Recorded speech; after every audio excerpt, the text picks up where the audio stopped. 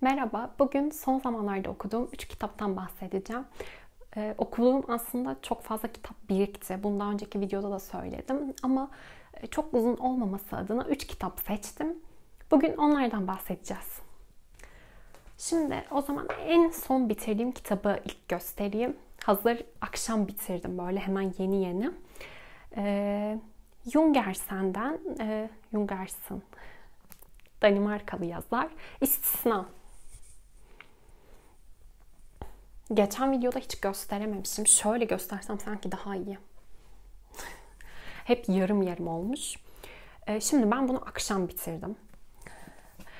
O yüzden şu an daha e, yeni bitirdiğim için e, sevmediğim şeyler de çok aklımda bu kitapla ilgili. Sevdiklerimdense sevmediklerim bir tık daha baskın gibi şu an. Çünkü özellikle son kısmını sevmediğim için aklımda sürekli o son kısım var. Şimdi bu kitap bu kitap Danimarka'da 16 e, ay boyunca çok satanlar listesinde ilk sıradaymış. Neden ilk sırada olabileceğini aslında anlayabiliyorum. İşte çok sürükleyici, merak unsuru var. İşte cinayet desen var, tehdit mailleri var. Hani sürükleyici bir roman. Ama e, bence kurgu çok fazla tekrarlıyordu. O yüzden ben sevmedim bazı noktalarda.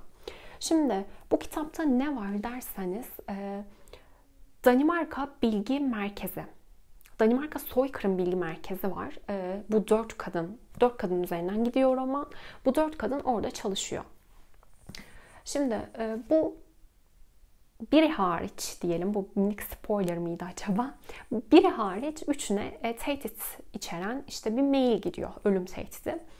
Sonrasında işte acaba e, suçlu kim, kim yolluyor bunu peşine düşüyor kadınlar ama bir or bir yerden de aralarındaki ilişki okuyoruz biz zaten. Hani nasıl bir ilişki var. E, kitap işte soykırım üzerinden aslında. E, bu noktası, bu en sevdiğim nokta bu noktaydı. Soykırım üzerindeki o suçlu psikolojisini alıp kitapta işte karakterlerin arasındaki o maillerle olan işte ya da kendi ilişkileri zaten öncesinde de e, bunlar dört kadın bir yıldır aynı yerde çalışıyorlar. Daha öncesinde aynı yerde çalışanlar da var. E, işte aralarındaki o onların arasındaki suçlu psikolojisiyle o soykırımdaki soykırım yapan insanların mı desek onların arasındaki suçlu psikolojisini böyle bir birleştirerek gibi bize veriyor. Bu, bu noktası bence çok güzeldi soykırımla birleştirmesi.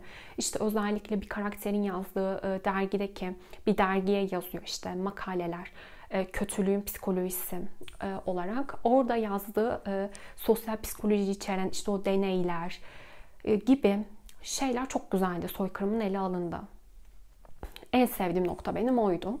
E, ben hani o tehdit maillerini kim gönderdi kısmında beni yeterince heyecanlandırmadı kitap. İşte birçok kişiyi e, sanırım sürükleyici yapan orasıyken beni e, soykırımla ilgili acaba bilmediğim başka neler öğrenebilirim, bir şey öğrenebilir miyim? Ya da işte o verdiği e, sosyal psikoloji sosyal psikolojiyle ilgili olan yerlerde ki birçoğunu tabii ki ders dersinde aldığım için biliyordum.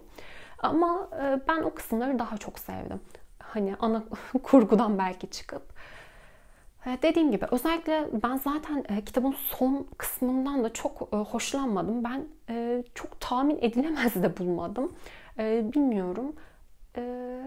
Dediğim gibi iyi noktaları vardı kitabın ama hani o kadar çok tekrar ediyor ki acaba bu mu mail yolladı, acaba şu mu yolladı?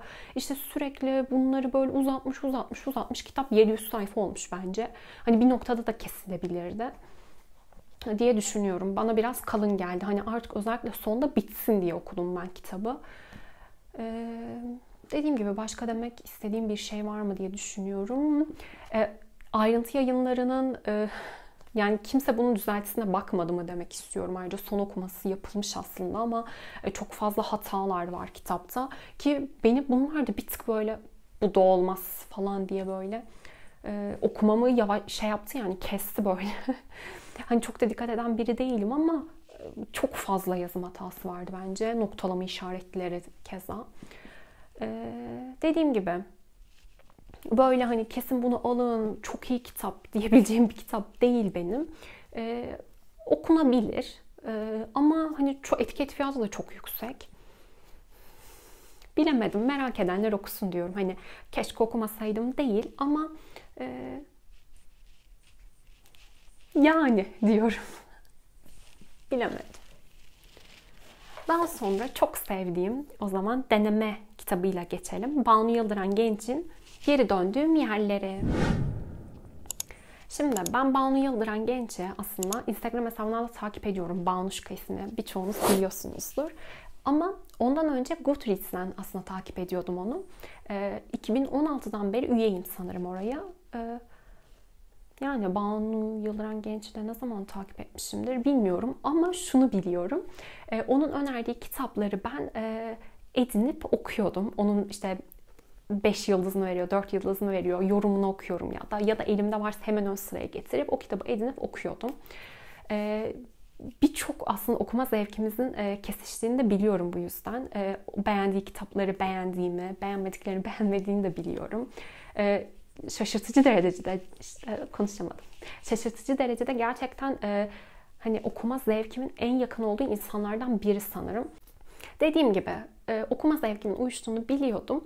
E, bu, bu kitabı hemen edindim. Kitabı çıktığını görünce e, gerçekten çok sevindim. E, şimdi burada e, bölümlere ayırmış, belli kategorilendirmiş e, yazdığı yazılarını.